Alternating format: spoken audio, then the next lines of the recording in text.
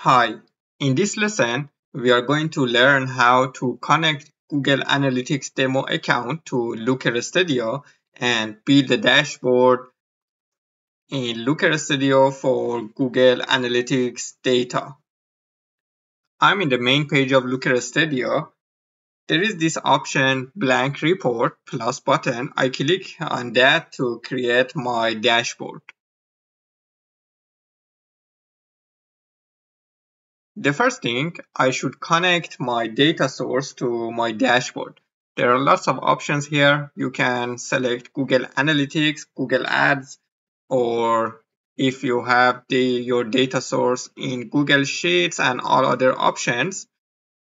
If you want to connect Google Analytics demo account, you should use the same Gmail address that you used for demo account and the same Gmail address that you use for your Looker Studio account. I click on Google Analytics. Here uh, there are uh, some uh, Google Analytics accounts that I have access to. I want to select the demo account. There are three options here. Uh, the first one is Flood-It. The one that we want to use is Google Merch Shop. The last one is UA, Universal Anal Analytics, that is not used anymore. So we use GA4, Google Merch Shop. I select it and press Add.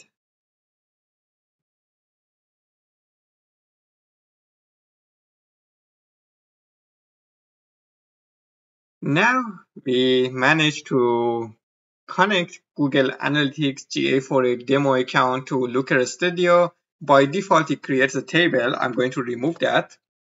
And this is our our can canvas and we are going to start from the scratch. Usually in creating looker studio dashboards the first thing that i add to my dashboard is a date control. I want to add a date to my dashboard so users can select what time range they want to look at the data let me go to add a control here in the toolbar. There is this option date range control. I click on that and drag it somewhere on top of the page. Now here I can select what date range I want to show in my data by default there is uh, an option to select start date and end date and there are these options auto date range. I can select one of them. You have many options here to show last seven days last 14 days last 30 days of data this week this month this month to date last month. I'm going to select last month's data for this report. So by default anytime that I view this dashboard, it will show me last months of data. I'm going to make the size smaller. Now let's create a table. I'm going to insert. Let me find the table. Here's the table. I can select table and put it somewhere here make the size a little bigger.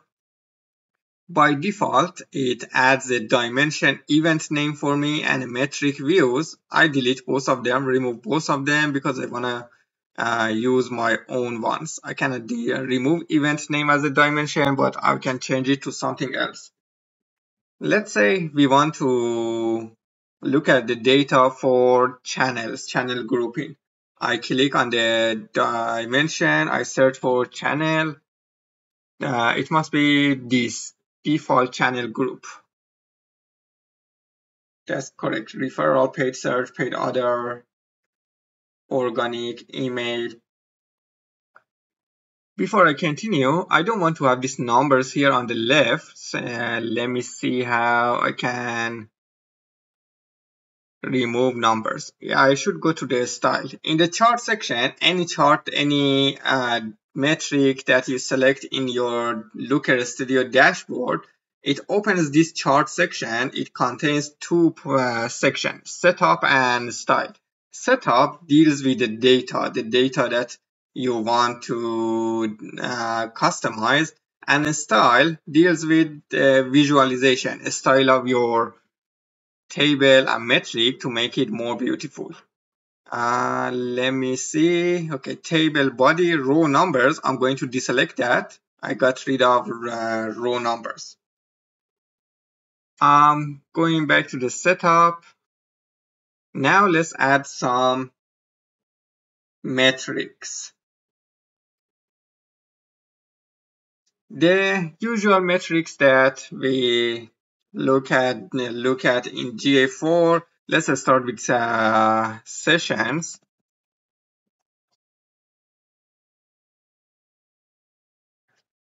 There are so many sessions here.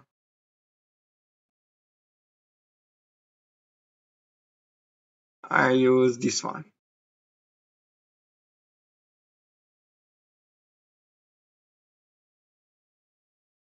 Mm, and let's add another metric to our dashboard, this time users. Uh, we have many, many user metrics in GA4, active user, total user, new users, returning users. Uh, we can use total users or active users, the one that is more common. Mm, let's see what other mm, metrics we can use in our table. Does it have conversion? No, it doesn't. It should have key event. Recently, GA4 has changed the conversion metric to key events. So I'm selecting key events. Key events means conversions, but of course there can be so many key events defined. We really need to know what key events we want to show in our table. The next metric that we can add to our table, let's add revenue. Now, I'm adding total revenue to my table. Now, if I drag these lines between each metric, I can change the size.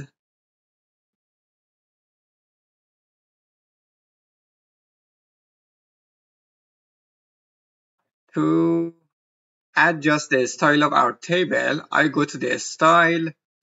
Let's see what we can change. First table color, header background color. For header it is gray. I want to change it to blue.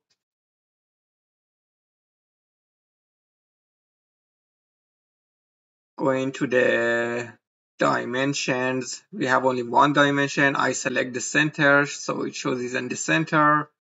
Metrics I have four metrics so here shows metric 1 metric 2 metric 3 for each one I select and change it to center.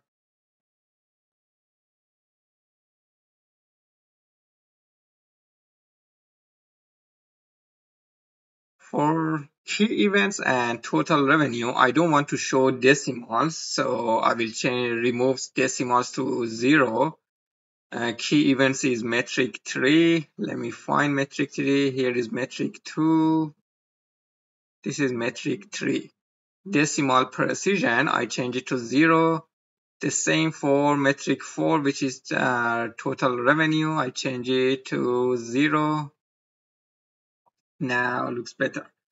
Now for my setup, I want to change the sort of the table based on, let's say,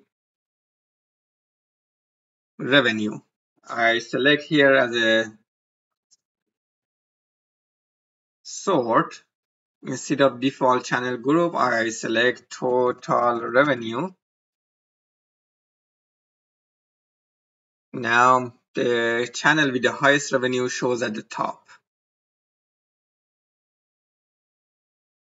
Now I want to add some scorecards to my table too. Scorecards are metrics, some metrics that you want to focus in your dashboard. I move my table a little down. I'm going to the uh, insert let me find a scorecard. Here is a scorecard.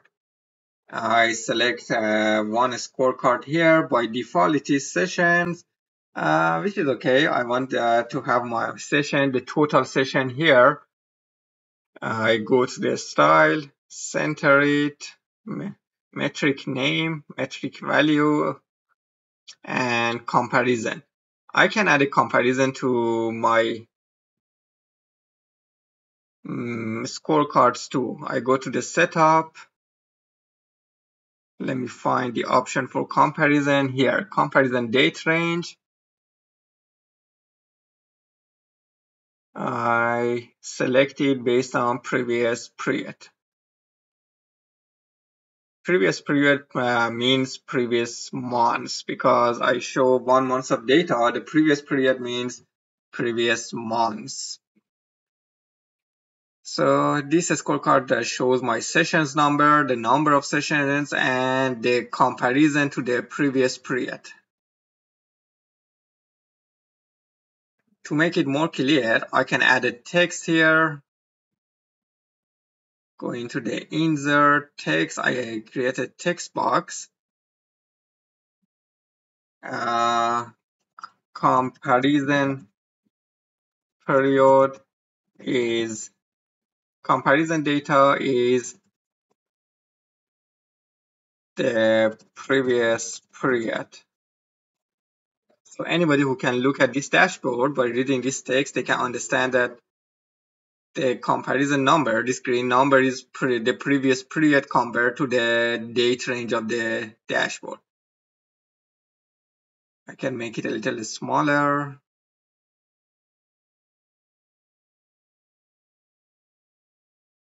Too small, I make it 12.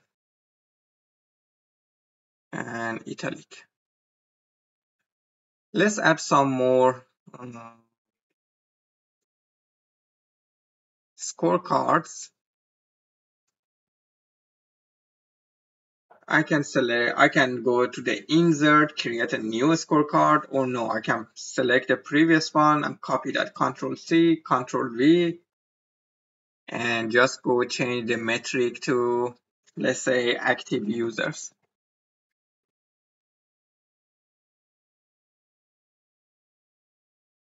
Now I'm changing it to key events, another scorecard.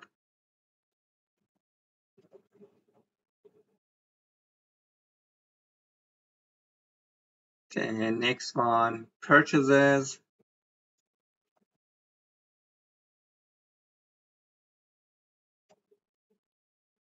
And the next one, revenue.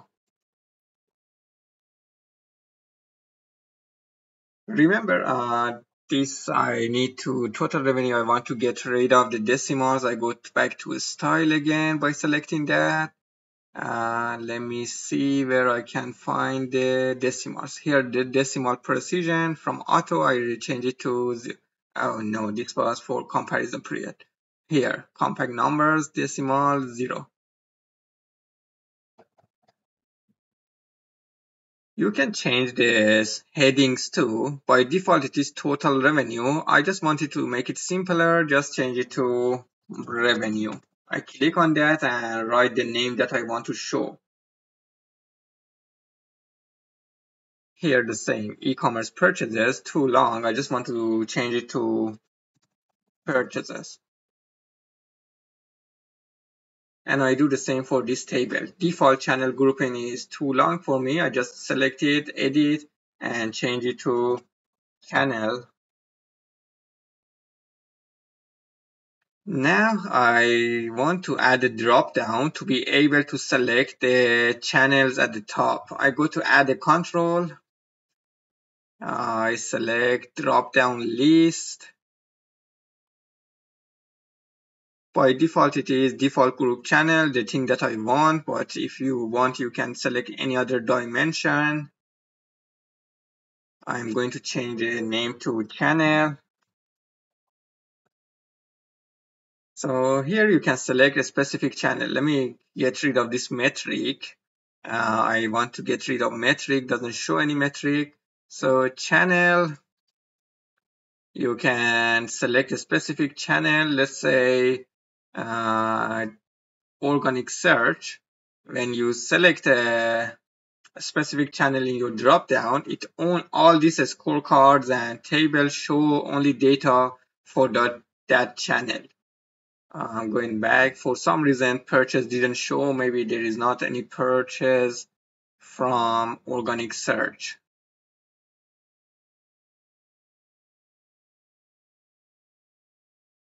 I want them to put them in the same line. Now let's go to insert or not insert to in shape. We can add a box here to add a title for our dashboard. I'm changing the background to this is too blue to this blue and added text to that insert or I can see text here too.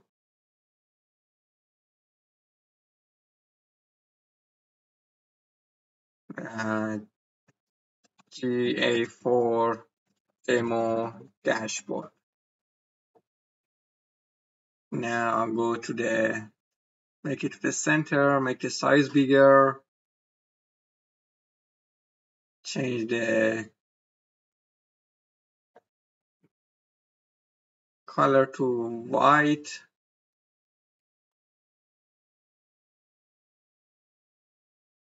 And I want to bold, bold it. And if you have a logo you can add a logo here by going to insert. Uh, must be a picture or something somewhere here Here there is an option image. You can upload an image here to your dashboard as a logo. This is a pretty simple dashboard that we created. You can, uh, if you want to add more data to your table, uh, to your page and you are short of a space, you can change the size of your page here, page, current page settings. I'm going to style. By default, it is 900. Let's say I can increase it to 1500, 1500 pixels, and it gives you more space to add more data.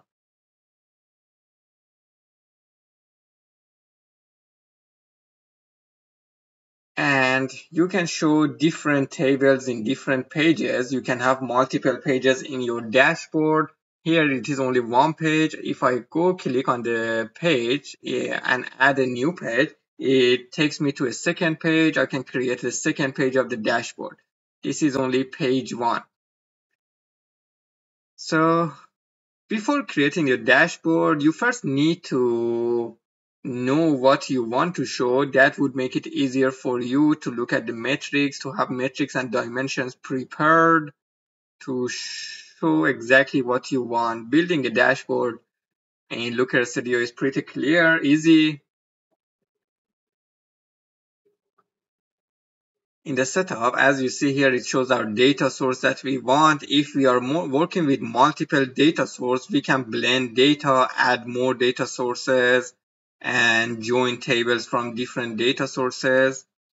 We can also create some calculated fields in uh, Looker Studio.